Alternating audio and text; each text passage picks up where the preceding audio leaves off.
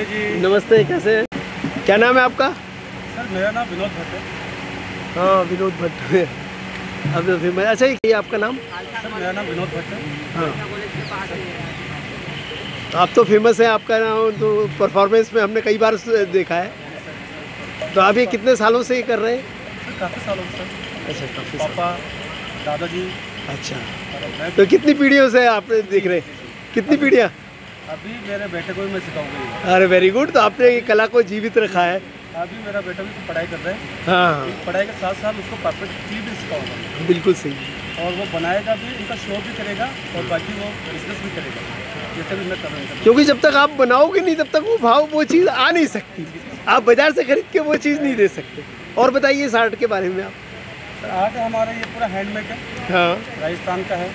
और लोग सर इनको खरीदते हैं। हम्म, डेकोरेट के लिए हम्म, और लोग सीखते भी हैं इनको चलाने के लिए बच्चे ले जाते हैं इनको डांस कराने के लिए और फिर हैंग करते हैं। बाकी डेकोरेटिव सामान है हमारा वो खूबसूरत लगता है घर पे हैंग करने के लिए। वो यूज़ भी होता है। हमने काफ़ी चीज़ें बनाई है भी है। जैसे कि राजस्थानी पेंटिंग है ये अच्छा।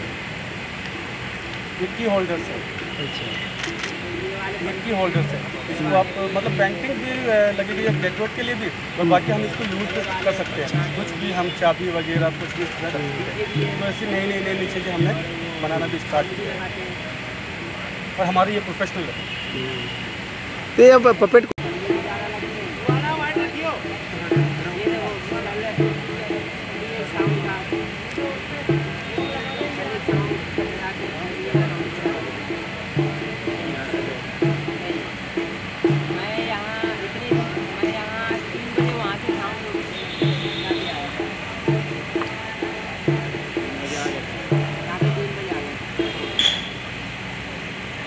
नहीं कम करो, थोड़ा सा अच्छा अच्छा अच्छा ठीक है बारह जाएगी, कोई बात बारह हाँ